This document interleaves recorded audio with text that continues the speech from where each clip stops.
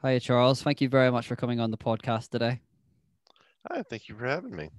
Yeah, so for the audience, this is the second part of our cybersecurity special, and I'm really looking forward to it because you have, in, at least in our previous conversations, had some very unique things to say about it, especially in the realm of social media. But for those uh, in the audience who don't know you, could you just give a brief introduction about who you are and what led you into the career in cybersecurity? Okay. I'm Charles Phillips. I'm a cybersecurity analyst. Uh, I've been in the profession now for about three years. Uh, prior to that, I was in IT. Um, and what led me into security is actually kind of a funny story. Uh, while I was working at a university, I met our cybersecurity guru. Um, great name, great name, name it Carl.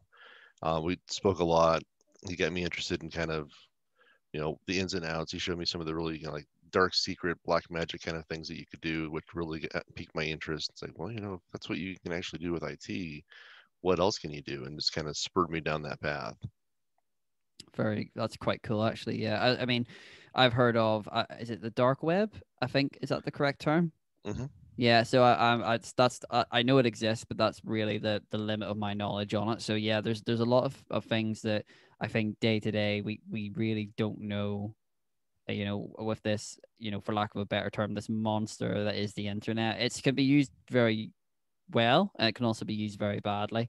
Um, mm-hmm. and that's why you're on today because you're going to tell us how to be safe uh, and to use it more like a tool. But something i want to clear up and uh, you know this this question was asked to me but w- by definition what is a hacker okay well hackers got kind of two different definitions depending on who you ask um, if you talk about some, or you speak with somebody in cybersecurity, a hacker is a person who likes to take things, break things, rearrange them, put them together in new ways to do new things. Mm-hmm. Uh, for example, a child that likes to take apart the remote and try to figure out how it works. That could potentially be a hacker. Um, I remember reading an article in one of the uh, hacker quarterlies about a guy who was hacking his low flow toilet so that he'd actually get a high flow toilet out of it. that could be potentially considered a hacker as well then you get on kind of the negative connotation of it, which was mainly spurred on by the news, where a hacker is a thief or a crook or some kind of criminal trying to steal data, steal money, you know, anything that's nefarious or up to no good. So when you when you speak about hackers, it, it's it's kind of a double-edged sword. It's either you're kind of on the camp that um, it's a good thing to have, it's like a good good um, mentality to possess. You, you're curious, you're wondering, or you're just a malicious bad guy. So that's really interesting because like I'm in the engineering profession myself and I love taking things apart. I love understanding why things work and you know how it all meshes together. Uh, obviously, I would never use it for you know uh, horrible purposes. You know, I like uh, the whole point of me being an engineer is I love to build and fix things. Um, but it's interesting then that that for me, and this is my own ignorance here, that hacker I always was assumed was a very negative word and it was something that you know I I did hear in the news and you know it's the next big company's been hacked or uh you know this has happened. And it's like well we never hear uh, you know anything positive about hackers or this or even I don't want to say maybe positive but a neutral term of hacker. Um uh, I have started to hear about though um is it um I, I I'm can't remember the name exactly, but it's essentially hackers who are the good guys. They deliberately try to break into systems to make them stronger. Is is what's that called again? Uh, there's a couple of different terms for it. Um, you could call them a white hat hacker mm-hmm. versus a black hat hacker. Uh, if you go back to the old uh, Wild West movies from like the 50s and 60s, maybe even beyond that, um, where the good guy always wore a white hat and the bad guy always wore a black hat. Yeah. Um, you can also, uh, as a profession, that's considered penetration testers, where a individual is hired by a company or organization to hack into their systems and then report on how they did it, how to short up security, how to, you know, fix the problems that they discovered. Yeah. Okay. I, I, actually, I've just remembered the name now. Ethical hacker. That was the word. Oh. Was, ethical hacking.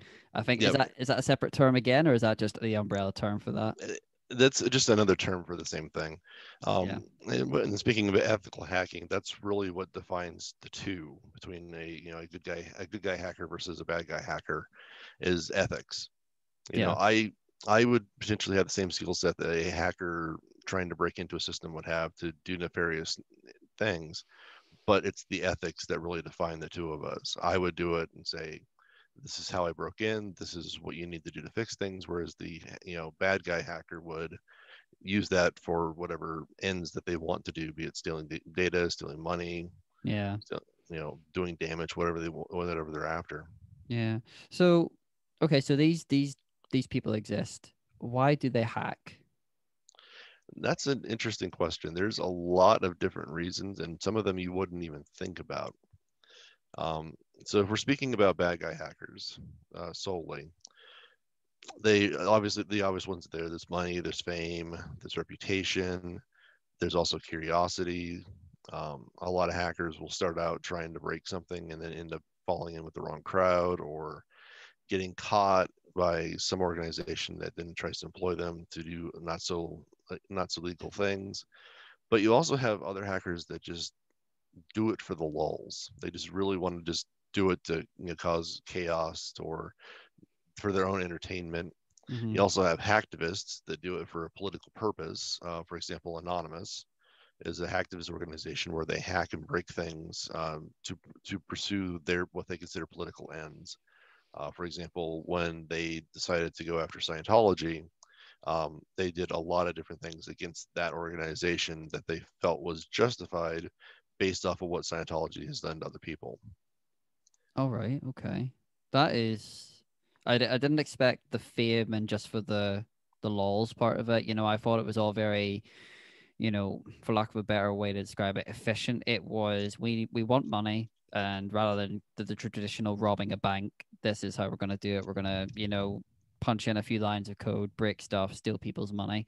I didn't realize that there's there's an even entirely new element to it of I want to be famous. I want to have my rep, you know, that reputation of being the ultimate hacker, or even yeah, I'm bored. Like that's you know, I, all of them are pretty nasty, but at the same time, I, I didn't I didn't expect that. But uh, yeah, that's that's interesting. So with all with the knowledge we've got so far on you know what a hacker is by definition and why they do it when people go on the internet every single day because it is such a big part of our lives now what catches people out the most and what is an easy fix that they can do so that they're they're safe today? Well, that's going to kind of depend on what they're accessing because like you said the internet's a very vast thing and it includes a lot of different pieces of our lives now. Um, if we're talking about say social media um, a lot of that can be used for social engineering or trying to fool you into doing something that you shouldn't be doing the way i usually define that is a hacker is trying to fool a target into doing something against their best interests for the hacker's personal gain and that could be financial it could be informational um, it could be any number of things. So for the case of social media, use your privacy controls, lock down your profile, make sure that it's not easily accessible, and also police what you put on social media. You know, you don't need to post about every single thing in your day. You don't need to do things like post about vacations until after you get home because a robber might be looking for people that are on vacation to break into. And mm-hmm. it's a lot mm-hmm. easier when you're in Cancun versus when you're going to the store. Yeah. yeah. Um, if we're talking about something a little more secure, say uh, health records, uh, uh, what, what financial data, things like that that are a little more more uh, sensitive, use strong passwords. You know, don't use just a simple little eight character password. Use the use as long as you can. Uh, don't use common words or phrases or even something that's you know common to you. For example, birthdays are a big no no because anyone who's got access to your social media knows your birth date. Oh crap! Yeah, that's true. And they also know the name of your dog, the name of your sister, your mother's maiden name, and so on and so on. So that's where you kind of have to be, be careful with what you post too. Choose security questions that are hard hard to answer. Uh, don't do things that are easily found on social media, like what's your dog's name. Yeah. Um, and going back to the passwords, uh, use secure passwords. Um, uh, hackers have ways to break into systems called brute force attacks, where they just try hundreds and hundreds of passwords at a time. And they'll do very common ones first, like password one, which is the most common password out there, which is nerve wracking for me. and you know the person's going to hear this, you know, oh wait, that's my password. I'll change it to password two. Well, that's not good. what you should do is take a phrase. So, for example, let's say Mary had a little lamb. Take the first letter of each one of those words, capitalize, lowercase, whatever you want to do, replace with a number or a special character. For example, example, instead of using L for love, you can use the uh, greater than and a three to make a little heart. Oh yeah. Um, add an exclamation point or question at the end of it or something like that, or uh, just add something else to it to randomize it. You'll remember what what your phrase is, and obviously don't pick one that's common, like Mary had a little lamb or something you find in find in the uh, literature, like say you know to be or not to be, or you know it's part of the Gettysburg Address or something like that. Use something that's going to be meaningful to you, that's not easily guessed. Yeah. And that'll give you a pretty good secure password. And of course, Yeah. the longer the better. Oh yeah, of course, yeah.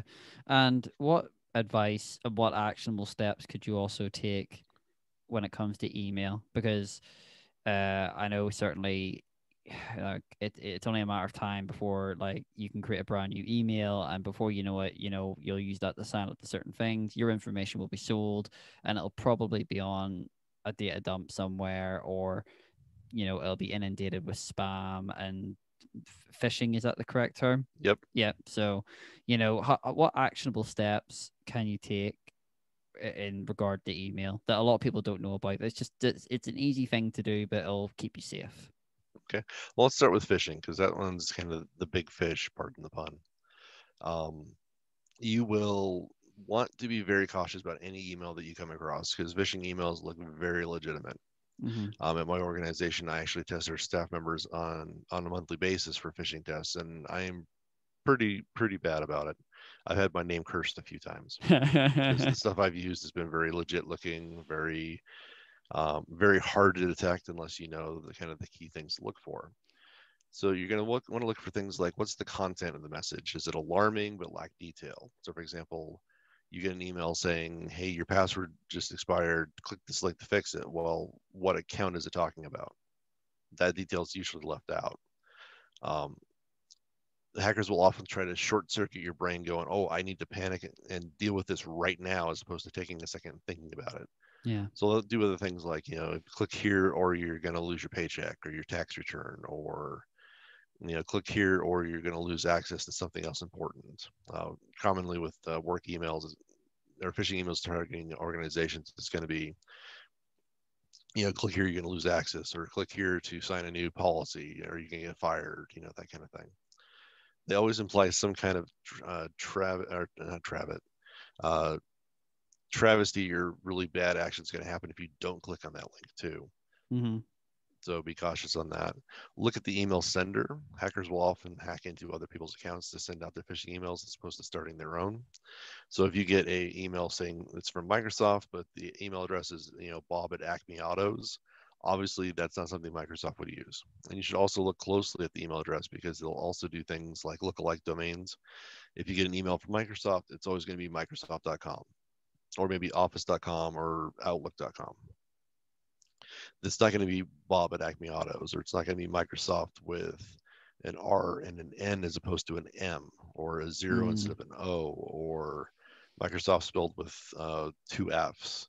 Things that kind of make it look like it should be legit, but it's just a little off. Nice to be on the lookout for that. Um, if you check the links in the message, this will also give you a good little indicators of what's going on. If you hover your mouse over any link, it'll pop up and tell you exactly where it's going to go as opposed to what it says in the link. So, for example, you get an email saying it's from Yahoo, but the link is pointing it to Gmail. Obviously, there's isn't something quite right there. Um, also, look for kind of randomization in, in there. Look for you know, content that just doesn't make sense. You know, if it's supposed to be an email talking about a cooking show and it's taking you to a television station, that would make a little more sense than it's taking you to a water park. Yeah. Yeah, very yeah, very well said. So uh you did touch on it briefly um earlier in the episode, but continuing with the theme of actionable steps you can take to Mhm. be safe. What about social media? Now, I know a lot of people just know social media and that's probably the best way to go, but you already have social media. What's what actionable steps can you take to make sure you're as, as safe as reasonably possible? Okay. Well, start with locking down your account. Um, every social media platform has some kind of set of security tools that you can do. Um, you want to do things like not sharing it with the public, share, say, share with only friends and family or just friends. Be cautious who you invite into your circle. Um, you will have hackers that will try to use uh, catfishing accounts where they where they will download pictures and make it look like your say your uncle bob's account and they'll respond with messages saying hey i got locked out of my account so i started a new one be cautious of stuff like that. Always reach out to the person eh, you know via a different means say by phone uh, to verify that hey did you actually get locked out of your account? Yeah. Just to make sure that's safe. Be very cautious about what you put in social media. Uh, there's a lot of re- different reasons for doing that be it from hackers using it to get security questions to potential employers looking for key indicators that you might not be a uh, a responsible employee. For example, I knew one individual who used to search through social media pictures for red solo cups, the little like camping cups. Oh yes, yes, yes. Uh, because if the person's underage and there's a lot of those photos, the chances are they're probably potential alcoholics or they party too much and they wouldn't be responsible. So uh, employers will look at social media whenever they can. So be cautious what you post there. Um, remember that if it's on the internet, it's there for life. So be very cautious on what you do end up putting on the internet. Uh, sensitive details about your life, you know, medical information, anything uh, that you put up there could be potentially used or abused. Yeah. Um, so, so you did say something there, and I've heard I've heard this phrase a hundred times, but I've never stopped to actually think about it. And I just want to get your opinion on it. When it's on the internet, it's on for life. So, like, what? How is that? Because if I, for example, let's say I delete a picture or an old email account, or you know, take your pick of whatever I put on the internet, or anybody puts it on the internet why is it on the internet forever? Is it locked away in a deep dark server somewhere? Is it somebody could download it? Like what what what can you define what you mean once it's on the internet, it's on there forever? Okay. Well, with the way the internet's laid out, it's not just simple kind of A to B communications. It's going to route through different networks to get to different places. And any one of those hops in the network could potentially store the data. You also have things like cache servers where, say, if you upload a, a picture to Facebook, it's not just on one server in Facebook, it's on multiple servers of Facebook. And even if you delete it, that doesn't necessarily mean it's been deleted from backups or shadow copies where they're just holding it in case you decide to you know, republish the image if you want to. Uh, you also have people that'll scrape the internet for images and text. Um, there was actually a lawsuit in the US a few years ago regarding scraping a LinkedIn uh, LinkedIn didn't like it and was trying to claim copyright for it. And the the the organization that was doing the scraping actually won because it was considered public information. Yeah. So they would grab that and store it. Um, you'll have uh, organizations like Imgur, Google, Facebook that'll take those photos and store them and then use them for other purposes. Facebook uh, notoriously has been using it for facial recognition, which is why when you post a photo of one of your friends, it'll pop up and say, you know, is this so and so? Yeah it's all photo recognition from there. Yeah. And you never know who else might have sold, saved a copy along the way and have it on their local hard drive that they could post up later. Yeah. So maybe perhaps take a, a pause before you click submit on anything on the internet, especially social yeah. media. Yeah. Definitely. See, that's so I, I'm perhaps going off on a slight tangent here. So when it's on the internet, it's on there forever. And if um, you know, unless you have some big lawyers or something like that, you know, even if you could, you know, argue with a company and say, Facebook, I'm not happy with you, you know, using my photos and facial recognition and having that sort of, you know, I feel a lot of my like privacy has been infringed upon, you know, arguably, yes, from what I'm getting here, you could, you know, to make a lawsuit and all that kind of thing. But it doesn't matter because, like you said, between each hop, it's it's potentially been stored on multiple servers and on somebody somewhere for whatever reason could have saved it to a local computer. Yeah. So and then you also have the issue of international law too, where I'm uh, sure if it's a U.S. organization, I could potentially sue to get that information taken down. But what happens if it's in, you know, some other country? You know, we Uh, might have some some legal uh, ways to go about it for, say, for example, Britain or or Scotland or Ireland, where we actually have treaties that allow us to go back and forth like that. But what if it's say Cambodia or Nigeria, uh, where yeah. that we don't have that you know reciprocity in law? Yeah, so the easiest thing to do is probably just to not post it. Like, in fact, probably the best case scenario is not to have social media, but at the same time, social media is here to stay. And if you're gonna have it, it's probably just the best to take all the advice you've just said. And if you are gonna post anything, a little bit of common sense, but also, you know, a little bit of a pause. Does this need to be posted? Because once I post this, this is on the internet forever. Yep. Yeah, but it's quite sobering. But that's worth having a chat and you know being brutally honest, especially you know with myself and you know the audience as well. Um, it's better to to know that rather than have our heads in the sand about it. Definitely, and you never know what a hacker is going to use that information for, or not even just hackers, just organizations that want to use that data too. Yeah, that that bring that comes on perfectly to my next question actually, and that is what makes you l- a less attractive target to a hacker. That's going to depend on what the hacker's after, and you never know what the hacker's actually after.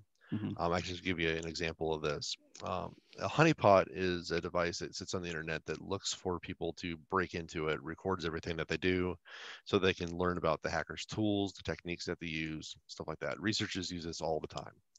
I was at a conference a couple years ago where a researcher came in and gave a, a talk on what their experience was uh, putting up a, a honeypot. And it was just a, it was a Windows machine. It had remote desktop enabled on it, which is a very big no-no in security. And within about five ten minutes, someone broke in. And this this uh, researcher put on all sorts of fake data, everything from medical records to trade secrets to financial records, all of it fake data, but it looked real. What do you think the hacker actually did once he broke into the system? Um, well, to me, I, I, I, for me, I'd just be copy and paste and take the whole lot and decide whether it's valuable later. Or is that I don't Yep. know. No, he didn't even look at it, didn't touch it at all. What oh, he did, or I should say he or she, I, we don't know what the gender of this person was, was open up dating websites. Wow. And, he, Really? and what they were doing was they were catfishing people out of money, you know, using what we call lonely heart scams or Yeah. just catfishing in general, saying, hey, you know, I'll come visit you, but if you send me X amount of money, that'll help me afford a plane ticket. And it just never happens. And they just keep Yeah. fleecing you for more and more money. Well, dating websites will block IP addresses uh, left and right for people that are doing this. So this hacker was looking for what they consider clean IP addresses or IP addresses that the the dating websites hadn't blocked yet. And that's the only thing that they did while they were on that system. That's insane. I mean, Yeah. like all that. What what you know, I'm uneducated in it, but all that what you would argue would be valuable information, and all they wanted was a clean IP address. That's that's insane. I mean, this is a whole new world. Like you know, I'll be honest. My only experience with anything cybersecurity, information security, it is what I see in the movies. You know, and bar and the occasional like if I happen to stumble upon something on YouTube which says, you know, catchy title, don't do this to get hacked or something. I think I may have watched one years ago, but I've never actually dedicated any real time to say, you know, how secure am I online? How secure is my data? Now, to be fair, I do, and this is a question actually I, I wanted to get your opinion on, and but not to get into specifics because I don't know what the legalities of it are. Uh, is that like I'm very keen on antivirus? I know a lot of people aren't. Uh, they just either just aren't bothered to, to pay the money for it. But for me, I I like my antivirus. Um, but in your opinion, regardless of brand, and I don't want to name any because I'm not sure uh, what the legalities of that are if you are allowed to do it. But like, what what is a what's a sets a good standard in your mind that says that's a good antivirus brand? In that, like, what what do they sell or what what are they advertising that you go, okay, that that makes that's good. Because then people can go, okay, now that I'm informed in this decision, regardless of brand, whoever, if as long as they're selling this particular um this particular protection or this particular way to protect your information, then I can I'm happy to pay that price or, or whatever. Okay. I think some of that's going to depend also on what you're trying to protect.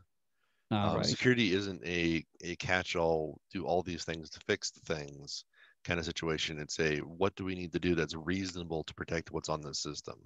Mhm. And I'll give you an example of that. So, for example, let's say uh, financial institution, their core system that houses all the financial data, that's a very high target. That's something you want to spend a lot of money on protecting. Now, if you've got a server that hosts the, uh, you know, billboard for the cafeteria, you really don't care too much about that. You'll put in basic protections to make sure that system can't be abused, but you don't want to pay the extra money to protect the data because who cares what the menu is going to be for Tuesday. Mm-hmm. So when it comes to antivirus, use what's reasonable for you.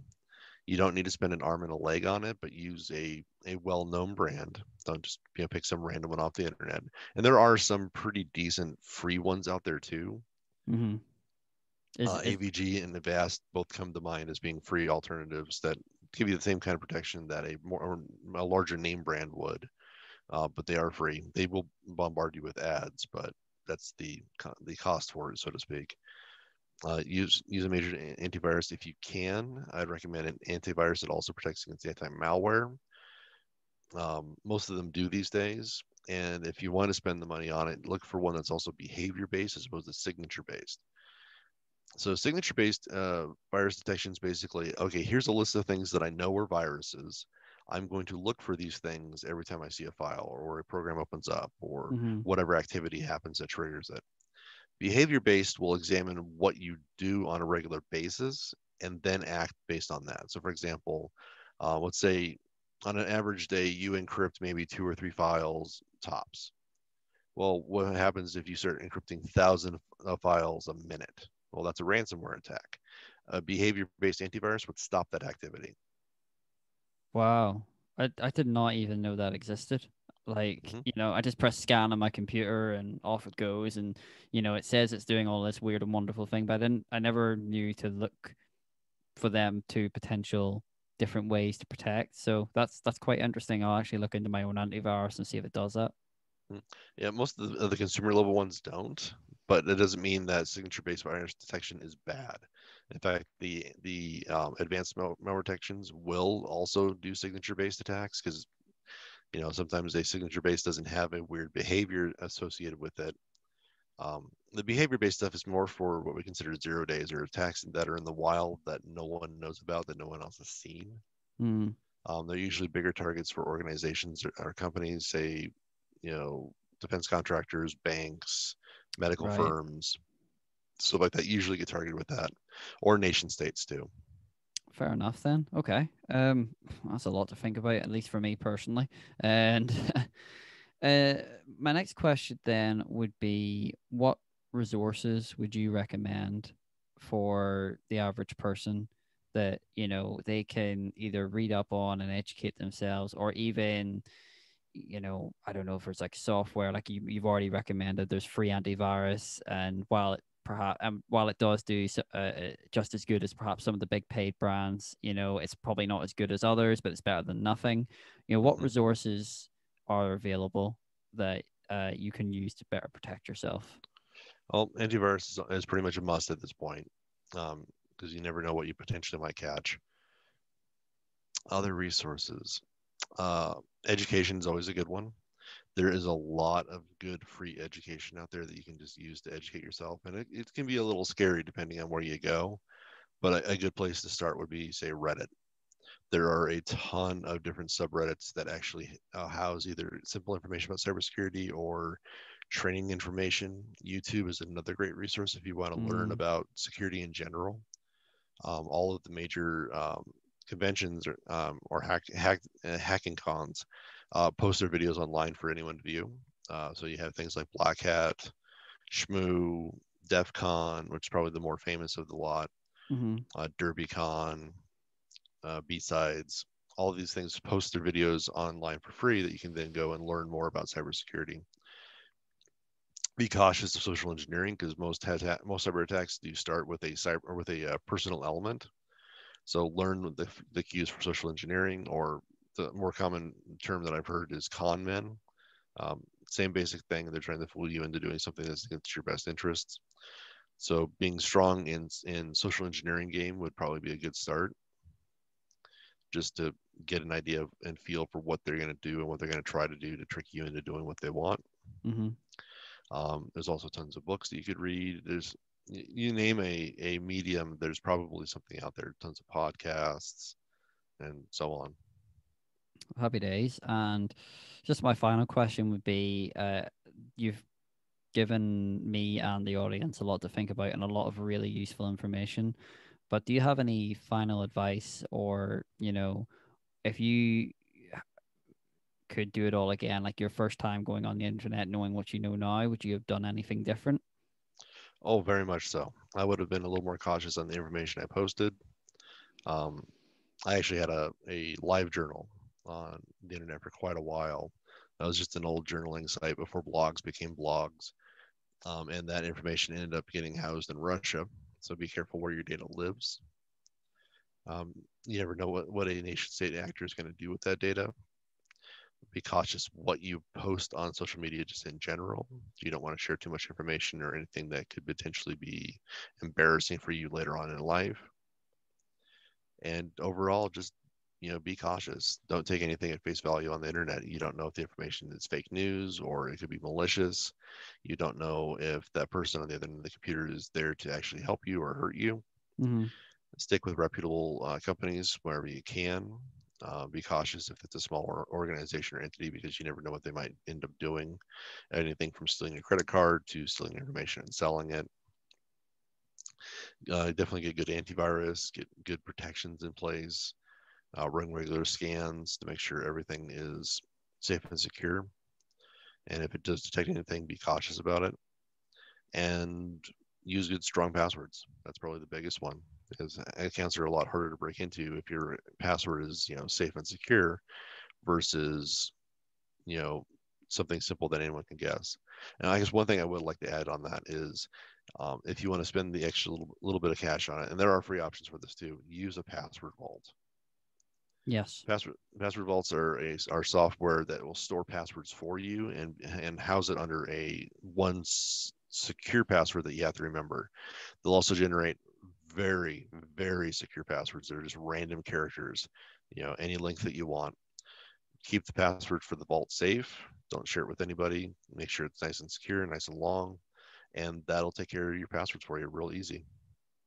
Yeah, that's that's amazing advice. Thank you so much for that. Um, so that's all my questions for today, and I got a lot of value out of this, and I know that the audience will as well. So, Charles, I just want to say massive thank you for coming on again today, and with any luck, we'll have you back on the podcast again sometime soon. So, thank you very much.